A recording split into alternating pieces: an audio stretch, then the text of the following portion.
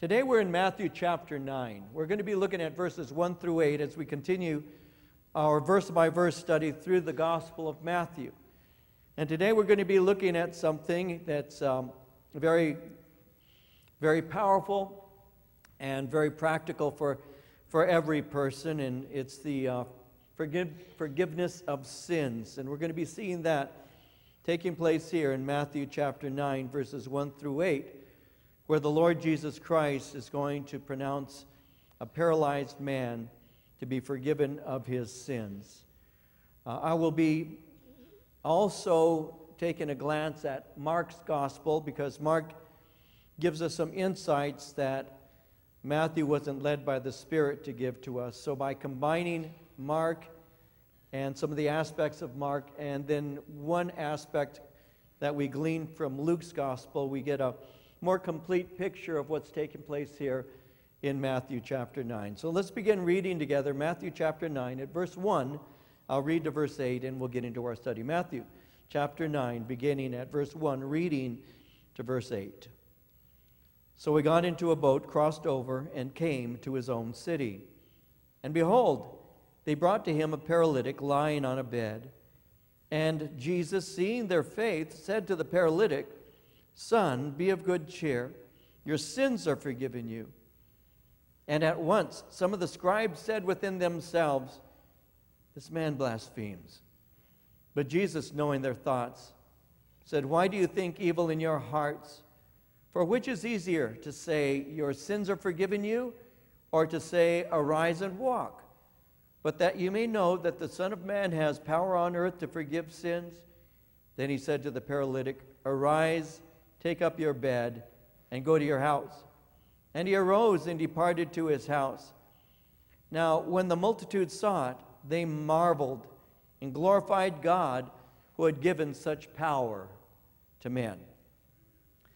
So let's begin by looking at the obvious. The Lord Jesus Christ is not simply a teacher, a good man, a prophet, or a religious figure. When you read your Bible, you see that Jesus Christ actually came on a mission. And the mission that Jesus Christ came on was to reveal the kingdom of God to fallen men. Mankind, the Bible teaches, is under the sway and domination of the enemy, and the enemy abuses his captives. But Jesus came in order to set captives free and to bring them into liberty, a liberty that you could have in him. In the, right, in the writer of Hebrews, in Hebrews chapter 2, verses 14 and 15, said it like this He said, Because God's children are human beings made of flesh and blood, Jesus also became flesh and blood by being born in human form. For only as a human being could he die, and only by dying could he break the power of the devil, who had the power of death. Only in this way could he deliver those who have lived all their lives as slaves to the fear of dying. So, as God in human flesh, Jesus had authority and demonstrated his authority in various ways. As we've been looking at Matthew, when you look at chapter, chapter 7, verses 28 and 29, for example, Jesus' authority was revealed in his life as well as his teaching. Because in Matthew 7, 28 and 29, uh, Matthew writes So it was when Jesus had ended these sayings that the people were astonished at his teaching, for he taught them as one having authority and not as the scribes. So Jesus Christ came, and Jesus Christ came with a mission to save mankind. Jesus Christ came with authority that he had from heaven. And Matthew has been highlighting his authority. So he had begun in Matthew 7 28 and 29 but pointing out that Jesus' teaching came with authority. Now, as we got into chapter 8, Matthew continued highlighting and emphasizing his authority throughout the chapter. And he did it by giving us various examples of him exercising authority. We saw in verses 1 through 4 of chapter 8 that he had the power and authority to cleanse a leper. In verses 5 through 13, he had the authority to heal the sick, even at a distance. In verses 14 through 17, he had the authority to heal Peter's mother in law, fulfilling Isaiah's prophecy. In verses 23 through 27, he had the authority over nature, stilling a storm. And then again in verses 28 through 34, he had authority over demons, no matter how many or how powerful. Now, chapter 9 gives us insight into his authority to forgive men of their sins. Now, sin normally is um, translated or interpreted as being one who falls short of the mark. The common word that is used in Greek for us to translate into the word sin is hamartia, and it means to fall short of the mark. Uh, when you use the word sin or hamartia, it could speak of, of not fulfilling the requirements of the law of God. And so all have sinned and fall short of the glory of God. In other words, there's none righteous, no, not one. There's not one perfect human being on the face of the earth. The only person who is perfect, we all know, is Jesus Christ. And so all of us were born in sin.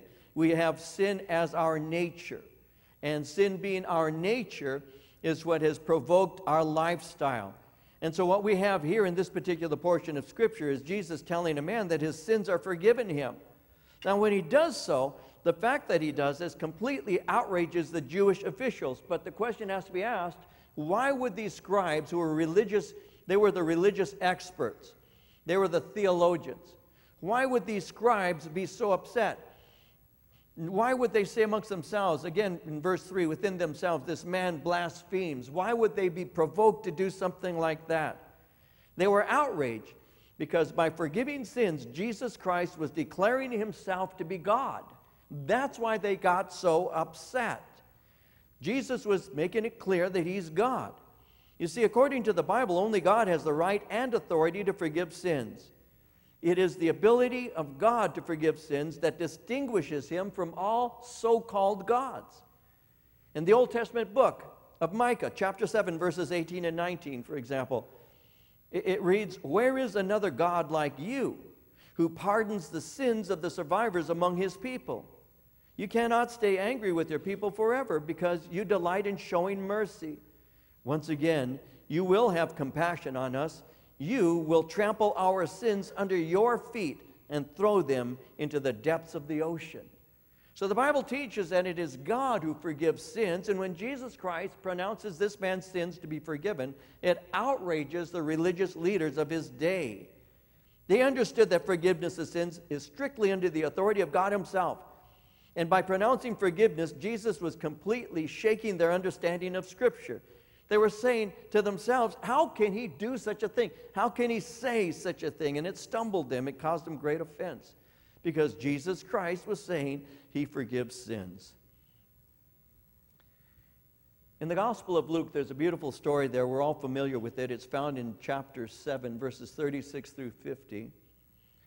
It's the story of a man by the name of Simon, a Pharisee, who had invited the Lord Jesus Christ over for a meal.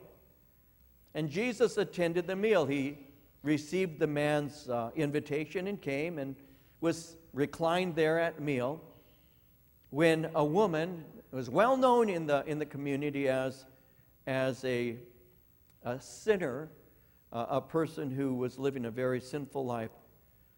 Um, many commentators would say that she was undoubtedly a prostitute. This woman enters into the room. We all know the story how she enters in. She looks around the room. The room becomes silent, I'm sure, as people were speaking amongst themselves. And then when she appears, there's this sense of, what's she doing here? That kind of attitude that people can have. And as she sees the Lord, she walks towards him, begins to weep. The tears begin to drip from her chin onto his feet. She becomes aware of that, kneels down, takes her hair, undoes it, begins to dry his feet from her tears. And as she's holding his feet in her hands, she with reverence kisses his feet. And Simon is watching this take place and says within himself, If this man truly were a prophet, he would know who and what manner of, of woman this is that is touching him. She's a sinner. And that's when Jesus has that famous conversation with Simon and says, I have something to ask you. And Simon says, Well, say on. He says, There was a man who owed another man 500 denarii. There was another man who owed the same man 50 denarii, but the man who was owed the money completely forgave both of those men of their debts. Simon, I want to ask you a question.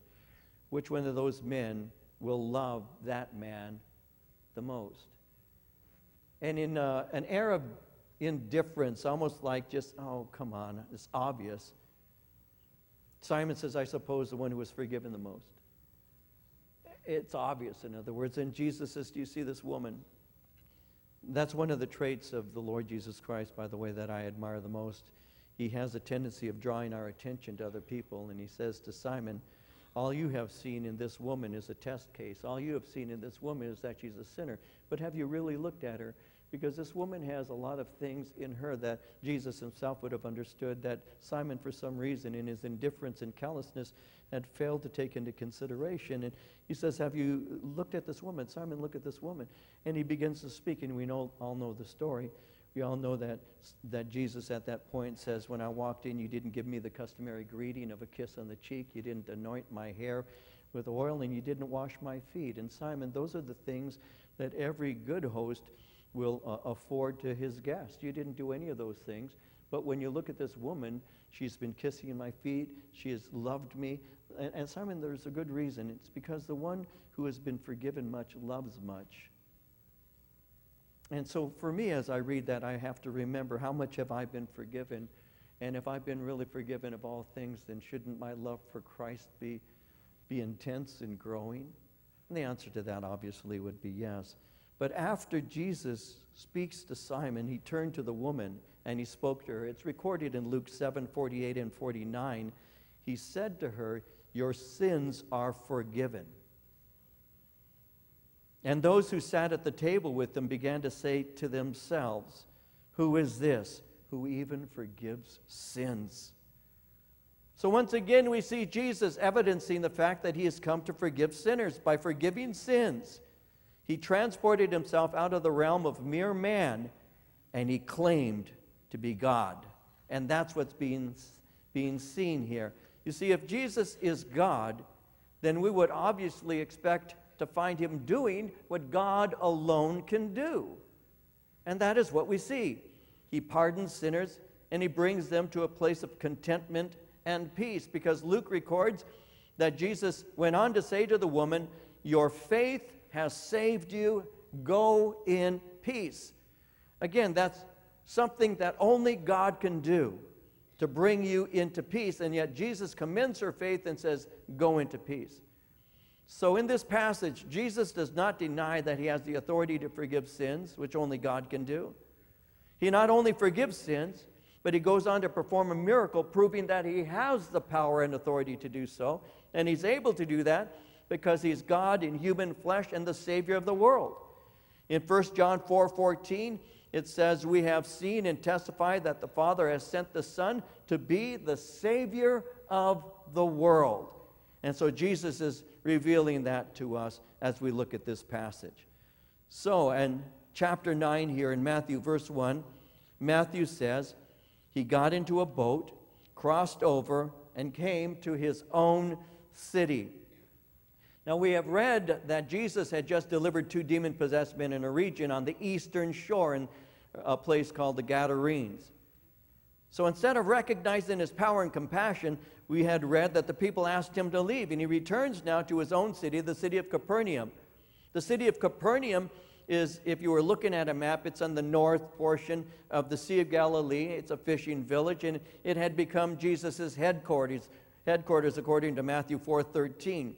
Now, as he arrives there in the city, it, it's not unnoticed. He couldn't move freely because many people began to follow him, and news of his return uh, to the city is stirring up the people, and they come looking for him.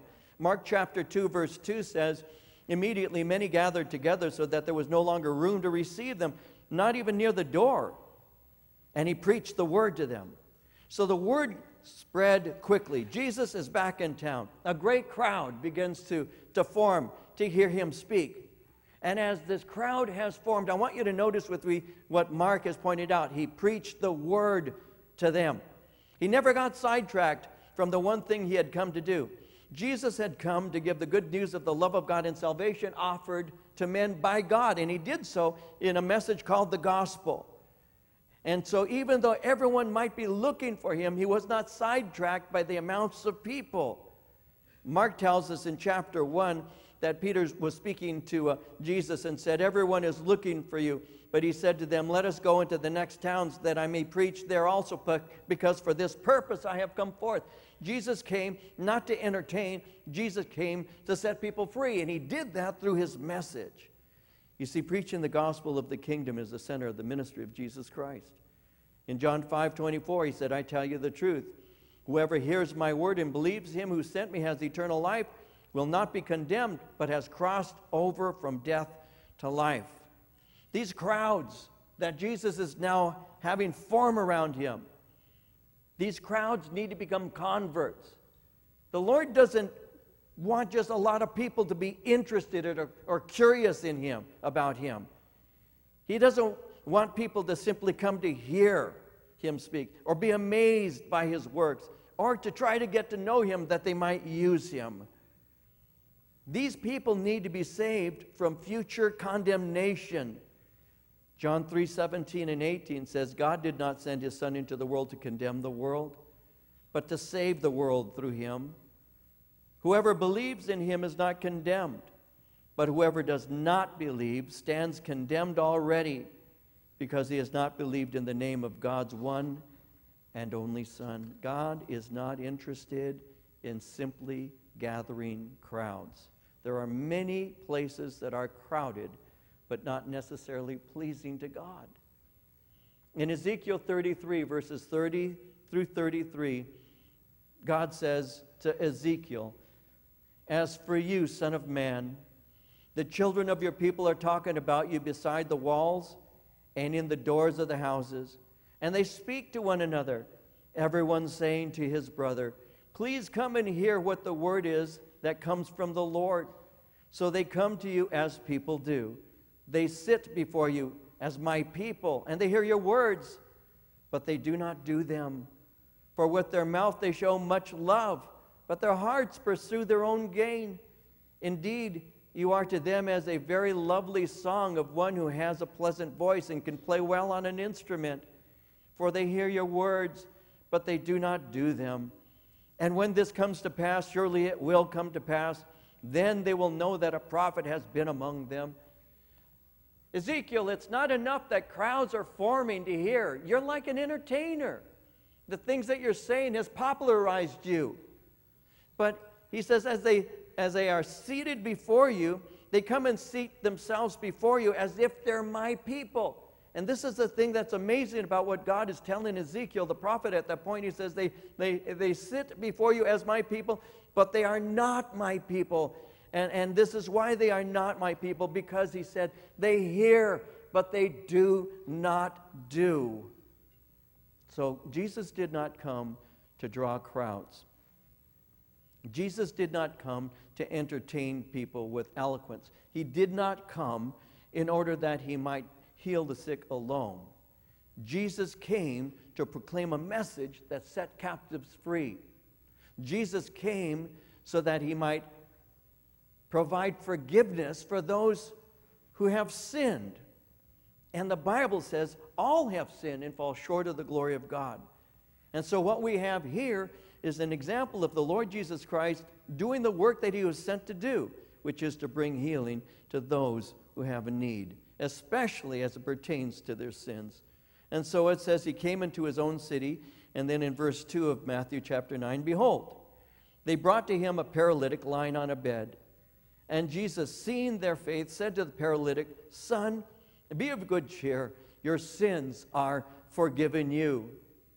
Matthew simply records they brought to him a paralytic on a bed, but Mark gives us a bit more detail because in Mark chapter 2, verse 3, it says, They came to him bringing a paralytic who was carried by four men.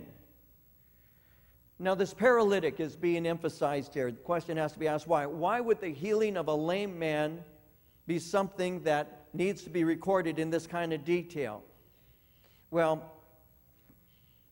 the healing of those who are crippled is one of the works that Messiah was to perform the Messiah would actually heal the lame. And that was known by those of that day to be one of the earmarks and the things that gave the Messiah credentials, and that is that he healed the lame. There's an interesting story found in Matthew chapter 11. We'll get to chapter 11 in about two years, and as we get there, you'll see it. But in Matthew chapter 11, John the Baptist, and we all know John the Baptizer, John had been put in prison because John had been preaching to Herod that it was not lawful for Herod to have his brother Philip's wife. And that had outraged him and infuriated him, and so uh, Herod had placed John in prison. John knows that his season of ministry is almost up and he's going to die. He's aware of this. And so, what he does is he calls some of his disciples to him and he sends them on a mission. And the mission is to go and speak to the Lord Jesus Christ. Now, remember with me that John had baptized Jesus John said, I didn't know who he was, but the one who sent me said, The one whom you see, the Spirit descending and remaining, this is he. And he pointed Jesus Christ out as being Messiah. But now, this great man of God, whom Jesus refers to as the greatest born to, to women, uh, this great man of God, is, uh, is languishing in prison. He's about to die. He's concerned. And so he sends his men to go and speak to Jesus. And he says, I want you to go and speak to him and ask this question of him. And so in Matthew 11, verses 4 through 6, after they said to him, uh, John has sent us and asked the question, Are you the coming one, or should we look for another? The coming one is another title for Messiah. Are you Messiah, is what they're saying, or should we look for another? Jesus responds in Matthew 11, 4 through 6 by replying, Go back and report to John what you hear and see. The blind receive sight, the lame walk, those who have leprosy are cured, the deaf hear, the dead are raised, and the good news is preached to the poor. And blessed is the man who does not fall away on account of me. Blessed is the man who has not stumbled because of me. Blessed is the man who does not think I should be doing certain things, and when I don't fulfill his expectations, just walks away from me and says, I don't need this. You see, there's a number of people who have, quote unquote, come to faith in Christ because they expected Jesus to do something for them. They actually wanted Jesus to be almost like a puppet on some strings. You do exactly what I need to make me happy, and I'll follow you. And when he doesn't do what they want or disappoints them in some way, they just walk away. I don't need this. I already had misery. I still have misery. I don't need Jesus Christ. And many people who have claimed to have a faith in Christ in reality were fair weather disciples thinking that he was going to make everything better for them. But what happens? What happens? When you're put in a position where your faith is tested. And that's why Jesus would say, Blessed is the man who has not stumbled or caused to be offended because of me. Blessed is the man who hasn't tried to create me in the image that they, they want for their Messiah, but has allowed me to be who I am and received me in that fashion. And there are a lot of people who think Jesus is supposed to do certain things for them, and when he doesn't, they say, Who needs this? Well, there you have John. And what's interesting is Jesus' response because he points out that the lame would walk, which was one of the things that would occur through Messiah. Someone wrote these miracles were not only the most convincing proofs of the supreme power of Christ, but were also emblematic of the work of salvation which he effects on the souls of men. Men are blind, they are darkened by sin and do not see the way of truth and salvation. Men are not able to walk in the path of righteousness. Men are leprous. Their souls are defiled with sin, deepening in themselves and infecting others. Men are deaf to the voice of God, His Word, even to their own conscience. And men are dead in trespasses and sins, and the result is they are separated from God. It is Jesus who opens the eyes of the blind enables the lame to walk in the way of holiness, cleanses the lepers from all the defilement of their sins, opens the ears of the deaf to hear his pardoning words, and raises those who were dead in trespasses and sins to live in union with himself for all eternity. So Jesus Christ, as Messiah, came in order to make the dead come alive, the crippled to be able to walk. That was what Messiah was to do. There's an author by the name of Ken Gire, and he wrote a devotional, Incredible Moments. And he concentrated one of his uh, devotionals on this man that we're looking at here, this crippled man. And this is what he said His spindly legs and arms form the bars to the cell that imprisons him, isolating him from the rest of the world. And so there he lays, alone on a three by six mat, day after day, week after week, month after monotonous month, never able to rise and stretch with the morning sun, never able to socialize in the streets, never able to step out for a casual breath of fresh air, never able to walk off his frustrations, never able to have a change of scenery without inconveniencing a handful of other people. He had to rely on others for everything, for every sip of water, for every bite of food, for every time his bowels moved or his bladder needed relief. Somebody else has to turn him and bathe him and clothe him. Dependency, humiliation, confinement, boredom, loneliness, frustration, shame, despair. These are just a few of the entries in the thesaurus that defines life on a three by six mat. This man was crippled. He couldn't care for himself. But there's something he had that we all need, and that was friends. He had some very, very true friends. In Mark chapter 2, verse 3, Mark tells us that he was carried by four of them. What a blessing it is, isn't it, to have friends? There are a lot of men today who don't have any friends. There was a book written uh, uh, years ago now that, that was something like the loneliness of the uh, American male. And there are a lot of men today who don't have friends. They, they're unable, if you were to sit down, perhaps you're married to one, uh, and you said to him, uh, name your best friend to me. Some of us will have to actually think back to, to elementary school, and maybe we'll think of junior high or high school or college, and we'll say, oh, yeah, I had. And then you say, but who's your best friend now? I don't have any friends because I got you.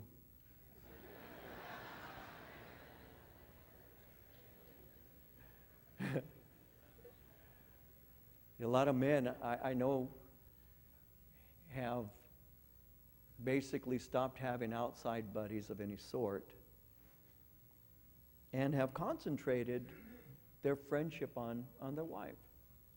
But if you were to ask them, who is your best friend? They're unable to say they have one. They'll say, I've got buddies. I have guys I know, guys I work with, guys I once in a while we'll see at church, but friendlessness is one of the plagues of American society, especially as it pertains to men. If you ask an average guy something like, um, Tell me some of your more fun experiences you had, tell me things that, that you really enjoyed.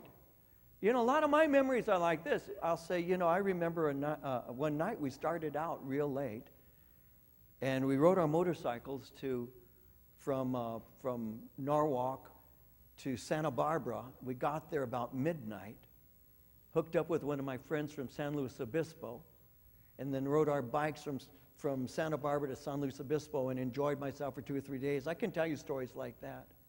I can tell you stories of, of driving late at night and stopping at some roadside diner in some, some small town where couple buddies and I uh, pulled over at 2 or 3 in the morning and went in and sat down and drank some coffee, made some, ate some breakfast, and, and just talked about life. I can tell you about being 12 and 13 with my best friend as, as I'd spend the night at his house and we'd stay up late and, and, and do stupid things that 12 year olds can do. Uh, I'll give you an example. I remember staying at my friend's house, Bill, and uh, and we're you know we were 12 years old and we're, we're sitting with our t-shirt and our and our bvds that's what we wore to go to sleep but we're sitting watching you know elvira or some kind of spooky thing and, and he says hey let's go out and race cars in our underwear. So i said why not? There were, there were no cars anyway so i said why not? And so we're standing by the door looking, waiting for a car to come driving down the street. It's like 2 in the morning, there's no cars out. Here comes a car. And so my friend and I, he says, let's go. He said, when he gets up to that driveway, let's run and roll, race him down the street. And I said, why not? So I'm standing there, and here comes our, and he runs out, and he runs, and I stayed behind, and I hid behind the door. And he's running down the street on the sidewalk, and this woman, I'll never forget this older woman just staring with her mouth open at this 12 year old guy in his underwear running down the street. And he stops and looks, and I'm waving at him from behind the door. You know? And those are memories I have, and they're good memories, they're funny memories, silly memories, you know? And they were with my buddies. We had relationship, we had friendship, and we cared about one another. We really did, as silly as we might have been at 12, 13, and all, because it's the same guy, Bill, that ran down the sidewalk wanting to race these cars in our underwear. It's the same guy who put me in, who told me, you need to come to this Maranatha concert in order to give your heart to Jesus Christ. It was the same friend because friends bring other friends closer to Christ. That's what a real friend does. When you begin to look at your friendships, the best friends you have, listen carefully, the best friend you have is the one who will not take you away from Jesus. The best friend you have is the one who brings you closer to him. Never forget that because some of you have friends who are always telling you things that would actually take you away from Jesus. And they're not intending to. They're just saying things to you like, what's wrong with this? And there's nothing wrong with that. And that's his opinion. And, and you're not even listening to what the Spirit is saying because your friend is busy telling you something other than that. Be careful. Be careful that you don't circle yourself with people who draw you away Pray that God will give you friends who bring you to Christ. This man had friends who could do nothing for him but the best thing, which was to take this man to Jesus Christ. And what's interesting is it says in Matthew 9, verse 2, that Jesus saw their faith. How did he see their faith? Again, by combining Mark's account with Matthew's, it says in Mark chapter 2, verse 4, that they couldn't come near to him because of the crowd, so they actually uncovered the roof. What they had done is they walked up the side stairs of this small place and they began pulling the patio roof apart. If you were to see what the roofs and patios of that day were like, you would see that the roof was flat with beams that ran transversely. They were normally overlaid with brushwood and tree branches and were covered with a thick blanket of mud or clay mixed with straw. And what they did is they actually broke up this roof. And as they were working furiously, there was falling debris. And the falling debris began to create a billowy cloud, and particles of dust and, and debris were floating. Jesus is inside, as you can see right above him the roof began to open up, and you could see these fingers of these men as they're pulling it apart. And Jesus, as he was teaching, undoubtedly just waited for them to finish what they were doing, and they finally open it wide enough for them to begin to lower their friend down. And even if the man didn't want to come, he was coming anyway. There was nothing he could do about it. And so slowly and gently, they begin to lower that bed on which their friend was lying. This was what is called faith in action. They were four working as one, they were a team of ministers. Their faces were sweaty, their hands were dirty from breaking up the roof. You see, faith is active and it's noticeable when it's exercised. James 2, verse 17 says, Even so, faith, if it has not works, is dead, being alone. But Jesus here saw their faith. And then he said to the paralytic, Son, be of good cheer, your sins are forgiven you. Now, Jesus is promising this sick man forgiveness of his sins. Now, why would he do that? Well, the reason he's promising forgiveness for his sins is because even more than walking, This man needed to be forgiven, even more than the ability to stand up and walk, to dance, to, to run, to jump. He needed his, his soul healed more than he needed his legs healed. Jesus asked the question in Matthew 16, verse 26 What good will it be for a man if he gains the whole world yet forfeits his soul? Or what can a man give in exchange for his soul? What material thing have you ever gotten, or I ever gotten, that has made me eternally happy? Blessed and pleased. I am so glad I'll have this forever. What material thing lasts for eternity? That's the point Christ is making. Not a single thing does. You buy a car, and it's nice to have a nice car. It's great to have a nice car. But two or three years down the line, you want to get rid of it and get another one. Four years, five years, you get another. Why? Because that car, as fun as it may be and as enjoyable as it may be, and all of that, isn't going to pr- pr- produce for you what you really long for. That's true with every material thing, that's true with every relationship. That, yeah, you can clap. I think that's true. It is true. Amen. Those are all single people, by the way, clapping. And but it's true. It is absolutely true. God help us to see this today. God help us to see it. So many singles say, I'm lonely, I need a mate. I, I do not in any way, shape, or form denigrate that at all. I do not. It is not good that man should be alone. I understand that. And yes, I'm married. I've been married a long time. And I've had people say, well, you say that because you're married, but you're not alone. All I know is this that the Lord satisfies my soul in the deepest recesses of it. He does. And I, I really believe strongly that He has to be the number one love of our life. And I used to tell my kids, I'd say that I'd say, you know what, if you want to have a good husband or wife, then become the best Christian you can be. And be the best gift to them that you could possibly be. Don't be their ministry, be their helper. And be a person that, that is satisfied in Christ because a person who's not satisfied in Christ is going to try to be satisfied in human beings, and the human being will never meet their needs. But when you find your satisfaction in the Lord, when you trust Him, you become an entirely different person, and in doing so, there's a satisfaction the world cannot give. And Jesus said, You know, who's going to be satisfied with the things of the world? What this man needed was forgiveness. And so, what he does in Matthew 9, verse 2, is he speaks to him and he says, Son, be of good cheer. Your sins are forgiven you. Be of good cheer. In other words, take courage. Courage that is deep, courage that is genuine. It speaks of an inner strength, an inner strength that overcomes fear.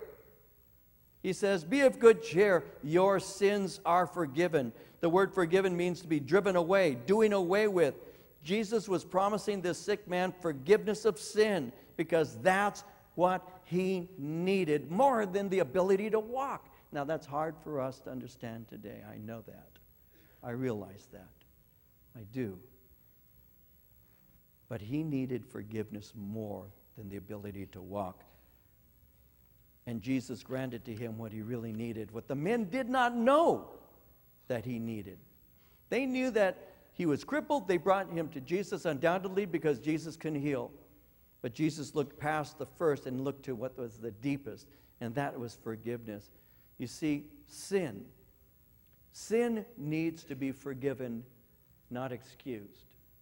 There are numbers of people today, many people, a whole society really, that is in the sin excusing business. Well, the reason he's that way is because he was raised that way, or he was not educated enough, or it, it, he had a bad role model, or had no role models, or it's the neighborhood, or it's the, the lack of education. We're, we're able to explain so many of the symptoms, but, but what is the root cause? Why is it? Why is it that this person has done what he has done? It's because of his heart. It's because of the condition within him. It's because of the evil that is rampant within that hasn't been checked. And that is something that can be checked when you say to God, Be merciful to me. I am a sinner. Listen, when I, when I got saved, uh, you know, I've had friends of mine who, who were into drugs and alcohol a lot longer than I was. And they say, Oh, Dave, you were a lightweight, man. I was in it for 30 plus years. And I say, Well, you know, God was merciful to me at an early age. And I thank God for it.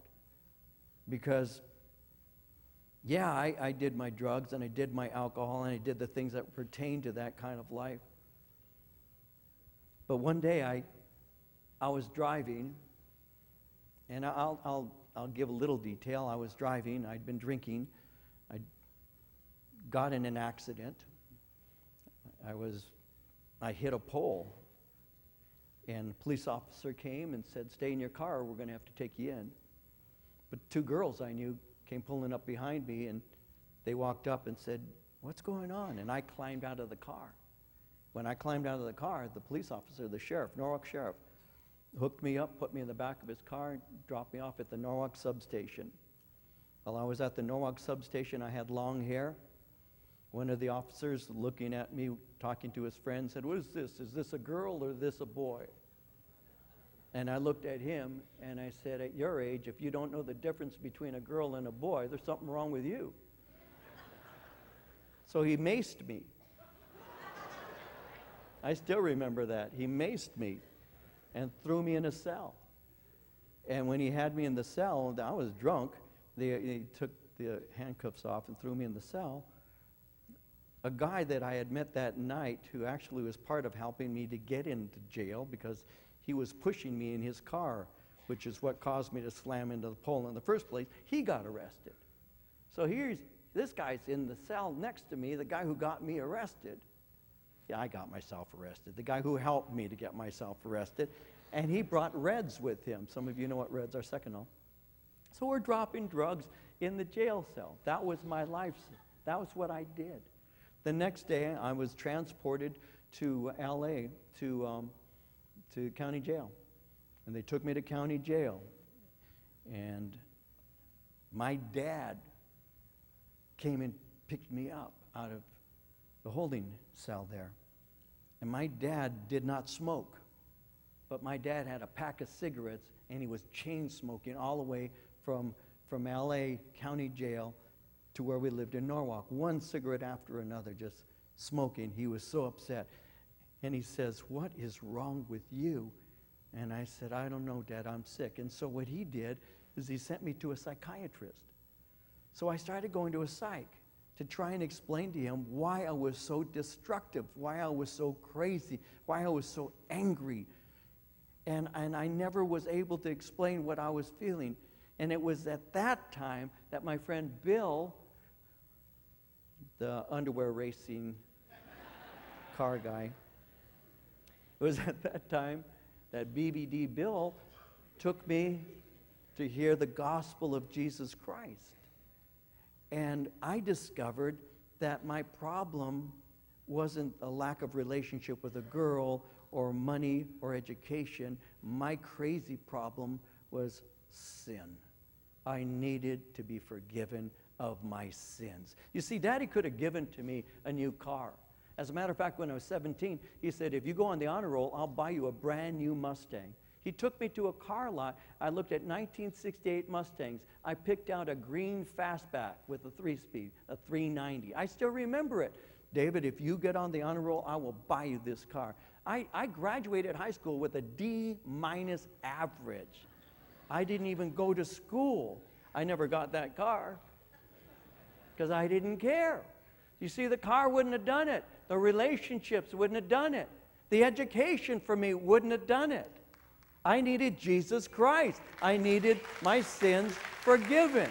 And that's what this is all about. That's why Jesus looks at this man, son, your sins are forgiven you. And the people around, this man blasphemes. Who could, Mark adds, who can forgive sins but God alone? And that's what's going on here. You see, the Bible tells us very quickly if we confess our sin, He is faithful and just to forgive us our sins and cleanse us from all unrighteousness. They're asking, uh, uh, Who is this man? because they hear what he's actually saying. They're saying, Man doesn't have the authority to forgive sins against God. Who is this man? Well, Jesus forgives sins because Jesus is God in the flesh, and only God forgives sins. Therefore, Jesus is claiming to be God. Isaiah 43 25 says it like this God speaking, I, even I, am he who blots out your transgressions for my own sake, remembers your sins no more.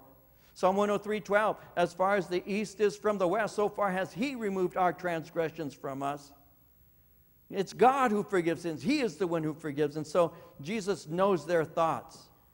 Jesus actually responds to their thoughts. It says, Jesus, knowing their thoughts, said, Why do you think evil in your heart?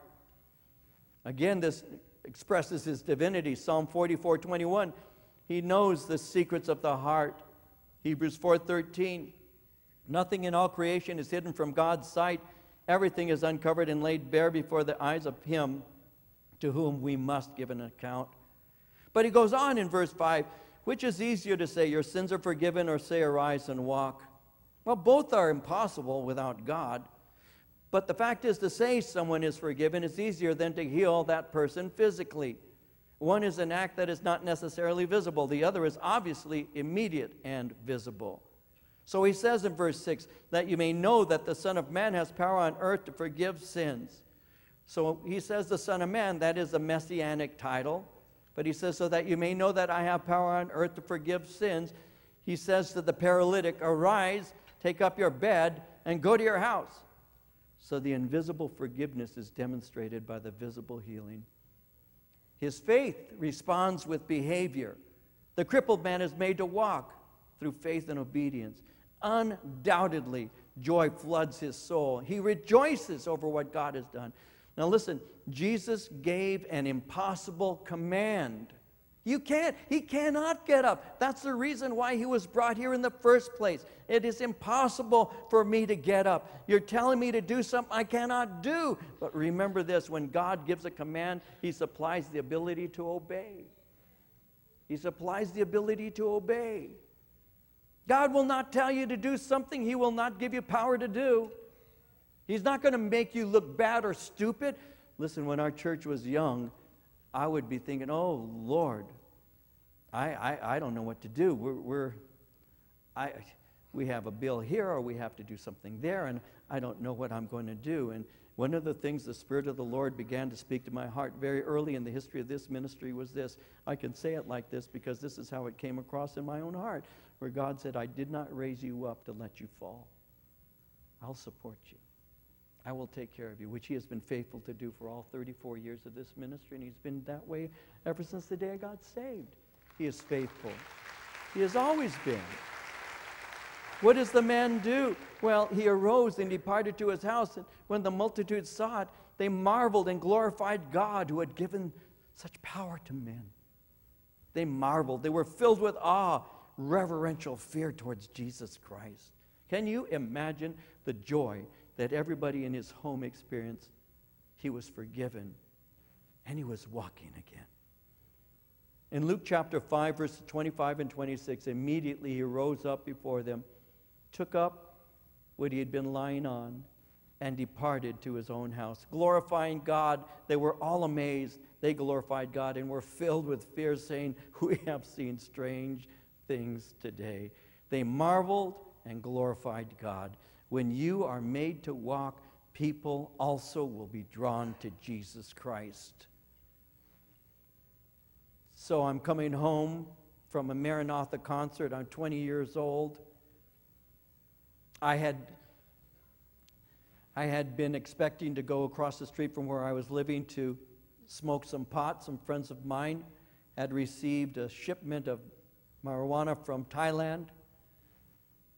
But instead of going to get high that day, December 27th, I, I went to a Maranatha concert. I heard this preacher named Arthur Blessitt speak. I gave my heart to Christ. I came home. I had been drunk or loaded almost, well, several times a week for about a year, going down. And I come walking into the house. I walk into the den where my parents and my two sisters were, and I said, Mom, Dad, Becky, Madeline, I love you. Praise the Lord. And I walk into the bathroom, which is attached to the, uh, to the den, and my two sisters jumped up and ran in there. What happened to you? And I said, I gave my heart to Christ today. I got born again. I'm saved. My mom and my dad, I hear the TV go off, and my dad brings my mom walking past the door because he was taking her to their room. And she and he stopped looking, and they stopped and looked at me as they were just staring. And my mom was shaking her head, and my dad was patting her on the back because she knew I went crazy. That's what they told me. I knew you went crazy. My dad's comfort. And my dad said, I just told your mama, it's okay, honey. He, he found God. It's okay. And my mom went to her bedroom and she did a rosary for me because she knew I was crazy.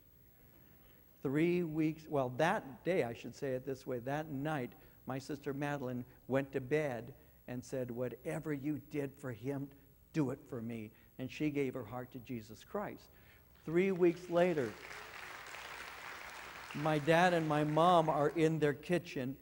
I come walking in with the Bible. I'd been reading it like I was told to, and I'd gotten to Revelation 9, and it's about men with women's hair, iron teeth, stings that they want death for five months, and the whole nine yards. And, and I read it to my dad. I say, Dad, this is the Word of God, listen to what God says. And I read this verse, this chapter to him, and I say to him, I don't know what it means, but I know this. It's not speaking to me, and it's speaking to you. And I looked at my dad and I said, You're a good man. You'll be, you're the best man I'll ever know, but Dad, you will be the best man in hell if you don't give your heart to Jesus Christ. I said, I love you, Daddy, and I don't want to go to heaven without you. Bow your head. You're receiving Christ right now. And my dad did, and my mom did. And then later on, my brother Frank gets saved two years later. And that's when I started a Bible study in Ontario. He had a girl that he worked with named Marie who started going to the study. My sister led her to Christ. She needed discipling. I married her. And that's how this church eventually came to be. And they were amazed and they glorified God. And they glorified God. When your sins are forgiven, you can walk. And when you walk, people will be amazed at what God has done in you. Don't we worship an amazing God? We do. We do. We do.